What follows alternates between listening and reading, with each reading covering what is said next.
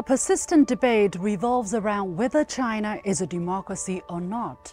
Critics often lament the fact that key policies seem to be orchestrated behind closed doors by party elites. China's democracy actually features aspects that are representative and electoral. It's referred to as whole process people's democracy or democracy with Chinese characteristics. However, to grasp the essence of democracy in China, it is imperative to delve into its historical roots and understand its rationale. Following the revolution of 1911, there were multiple attempts by China to adopt Western political systems such as uh, parliamentary, multi-party or presidential systems, all of which failed.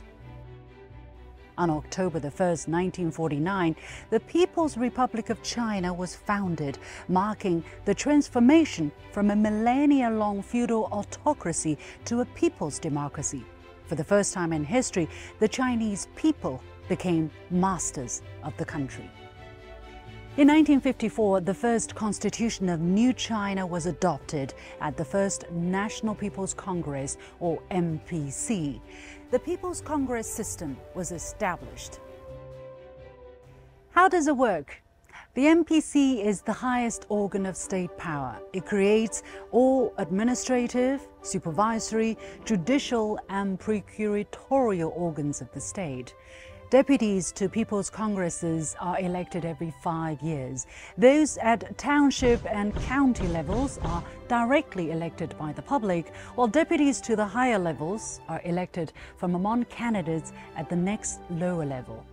In 2023, there were altogether about 2.8 million deputies to People's Congresses at all levels. 95% of them were directly elected by voters.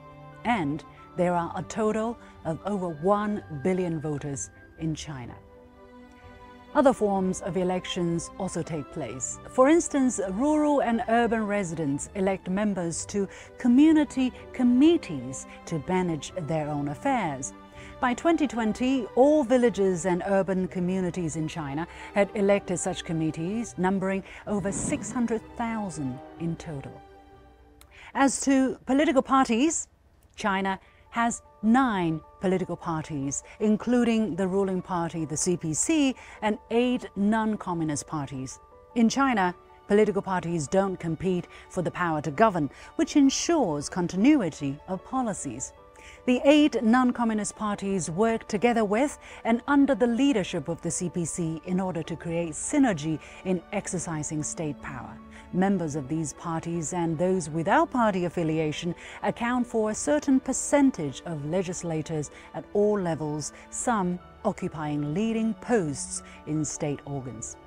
Every year, thousands of top legislators and political advisors meet in Beijing to submit motions and proposals on how to improve governance.